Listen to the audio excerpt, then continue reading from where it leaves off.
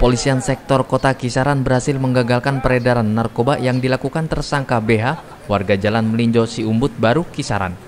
Dari tersangka, petugas berhasil mengamankan barang bukti narkotika berupa daun ganja kering siap edar seberat 440 gram dan sabu-sabu seberat 2,38 gram.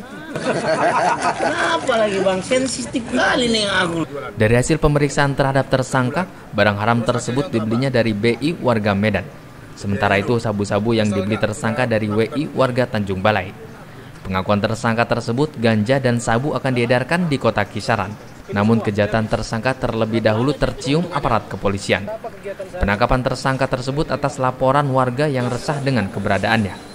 Keresahan warga tersebut dilanjutkan dengan melaporkannya ke Polsek Kota Kisaran guna ditindaklanjuti.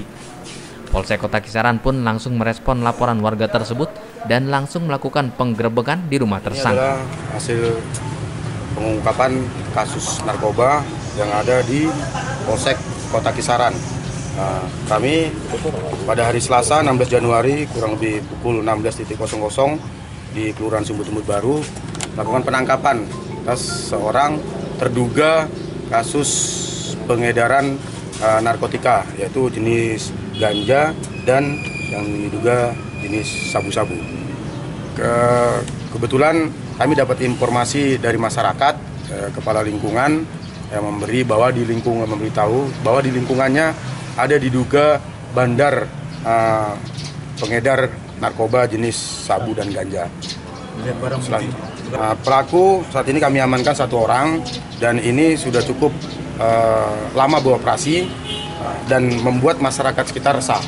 Selanjutnya Bapak Kepala Lingkungan memberitahu uh, oleh uh, pihak kepolisian, maka kami respon dan kami melakukan penangkapan.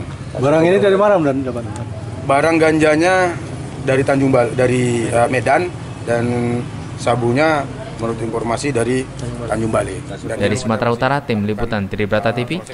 Salam Tribrata. Sepertinya menurut pengakuan tersangka, dia sudah bermain kurang lebih hampir enam uh, bulanan